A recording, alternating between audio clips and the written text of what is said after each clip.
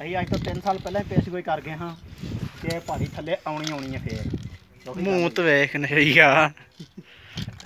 ਇਹ ਟੋਲਾ ਦਾ ਬੰਦੇ ਇੰਨੀ ਕੋ ਪੈ ਮਿੱਟੀ ਚੁੱਕੀ ਹੈ ਹਾਂ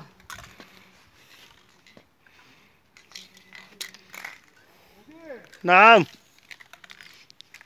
ਚੱਲ ਬਸ ਕਰ ਚੱਲ